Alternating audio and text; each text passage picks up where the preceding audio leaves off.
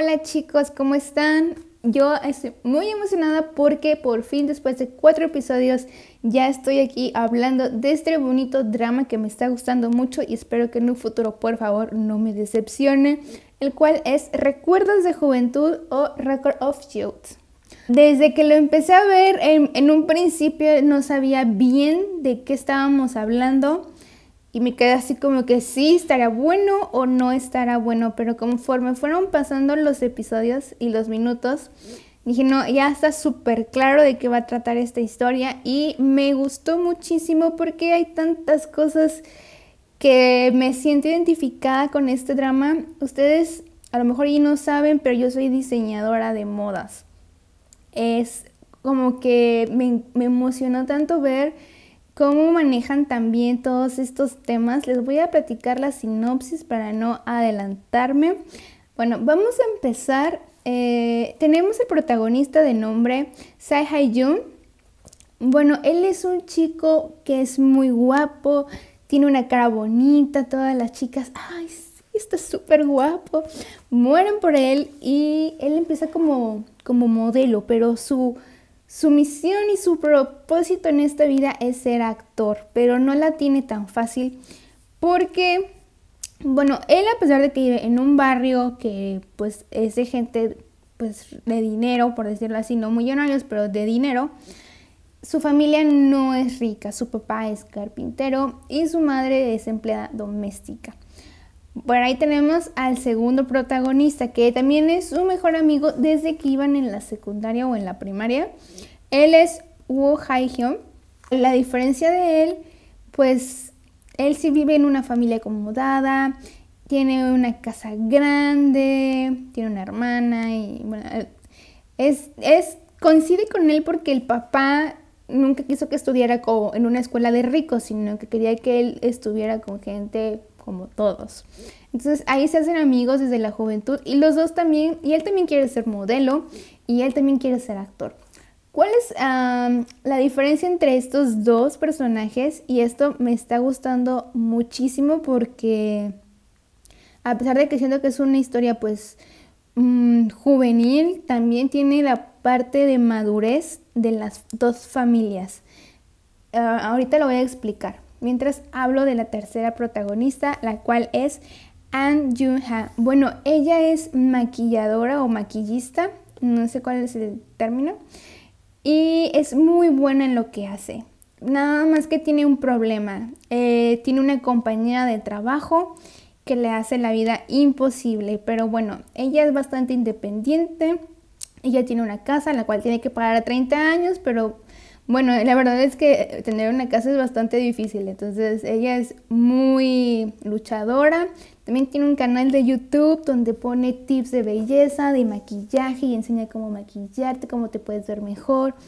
Y esa parte está bien padre también, ¿no? Que sea youtuber. Identificada, así como que tienes un trabajo, pero pues también te gusta hacer algo y tienes la opción de compartirlo en esta plataforma. Algo muy importante es de que ella es fanática de nuestro querido protagonista Hyun y para ella es alguien muy especial.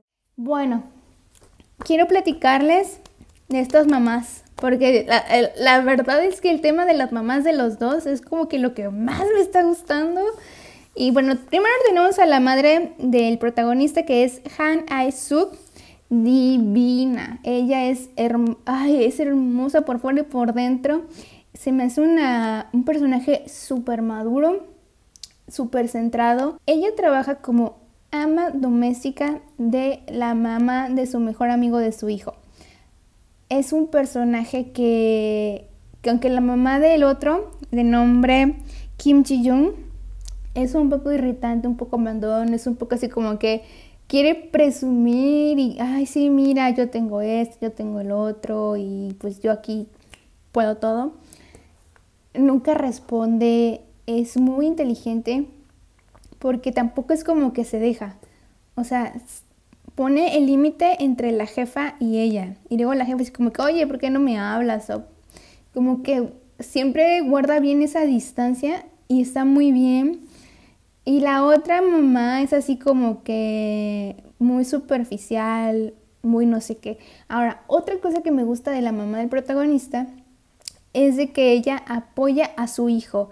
Ella lo impulsa a realizar sus sueños en base a sus valores, porque el protagonista no es de los que quiere escalar a la fama por medio ni de sobornos, ni de, pues no sé, pagar muchadas. Eh, ahorita vamos a ver más. Eh, esa parte me, me gusta mucho y esta mamá apoya a su hijo, pese que al papá no le encanta la idea de que su hijo esté perdiendo el tiempo en ser actor ella dice, no, yo te apoyo. Y el abuelo también, que me encanta, el abuelo de este personaje, el cual es Minky. Ay, este personaje también es tan hermoso, el abuelito. Él también siempre quiso ser actor, siempre fue su sueño, pero no, no pudo, no logró nada.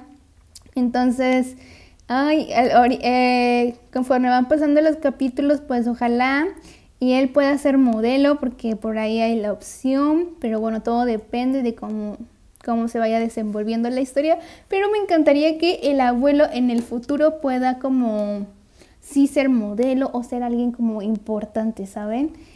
Eh, también tenemos mm, que la otra mamá, la mamá del coprotagonista, Kim Ji-young, bueno, ella es como que hace todo por resolverle la vida al hijo. Y digo al hijo nada más porque la hermana dice primero el hermano y ya luego tú, ¿no? Así como que tú estás en segundo plano. Y esa parte de que el hijo no sabe que su mamá hizo que una consiguiera un papel protagónico, que la mamá compra suscriptores, que la mamá es la que mueve todo.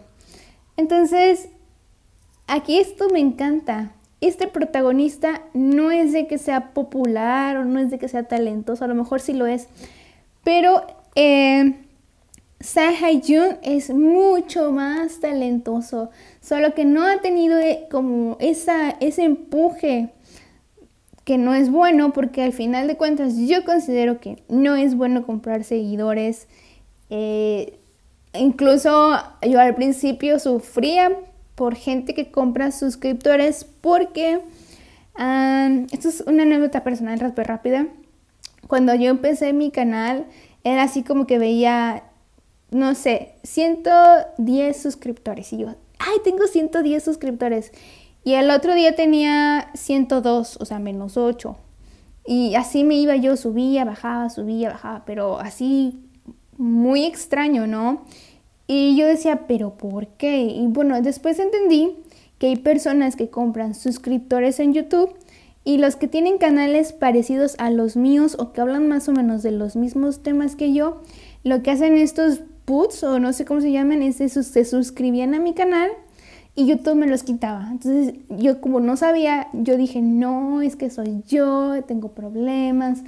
Y sí me, digo, sí me decía, no, pues a lo mejor sí estoy muy muy mal con este canal, ya lo debería de cerrar, pero de verdad es que no hay nada como ser honestos. Y creo que esa parte me está gustando, espero que este personaje no cambie. El otro realmente no sabe nada, pero lo que sí sabe y lo que me está molestando demasiado es de que, bueno, este personaje, este personaje principal, la chica Ayun Ha, ella no, ella le dijo que su fan es Sa Jun Y el otro así como que, ah, sí, qué padre, pero le está gustando ella. Y eso no me está gustando porque no es de amigos.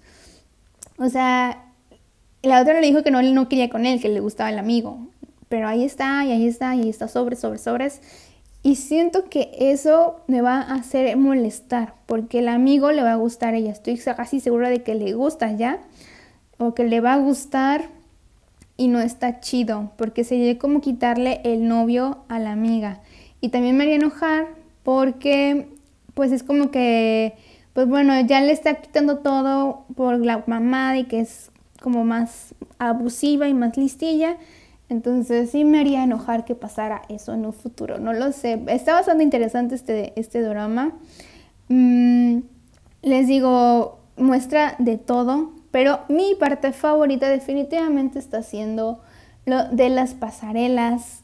me encantó ver este mundo de la moda, me encanta ver las pasarelas, de verdad así tal cual lo proyectaron en el drama o lo están proyectando de los maquilladores que están corriendo, que sube, baja y regresa. Así es en la vida real, en una pasarela, en el backstage y es una adrenalina tremenda. De verdad que es muchísimo esfuerzo realizar una colección y cuando ya sales dura como 5 minutos o 10 minutos nada más, porque los modelos pues, pasan van, regresan y se terminó, pero no saben todo el trabajo que hubo atrás de meses. Entonces eso estuvo padrísimo. La productora la amo porque ella confía en él, no le gusta que la gente sea abusiva. Y aquí vemos muchísimo el abuso laboral. Incluso con el otro personaje, Won Hae Hyun, que es el amigo, que, que bueno, como que le gusta la hermana del otro que se encarga de la parte de la producción, de la fotografía y eso, el maltrato y, y el abuso de las personas que están arriba, así de que no te pago, no te pago completo, te grito, te insulto, te sobajo, te rebajo. Y la verdad es que está bien cañón llegar a este punto de la industria. La verdad es que el sobresalir y todo eso está bastante cañón. Pero bueno, ya dije mucho. Me está encantando. De verdad espero que no me, no me decepcione. De verdad que lo espero muchísimo. Y espero que se animen a verlo si no lo han empezado a ver. Y pues bueno chicos, eso es todo. Ya súper listo para ver la próxima semana el que sigue. Les mando muchos saludos y muchos besos. Que estén bien. Añan.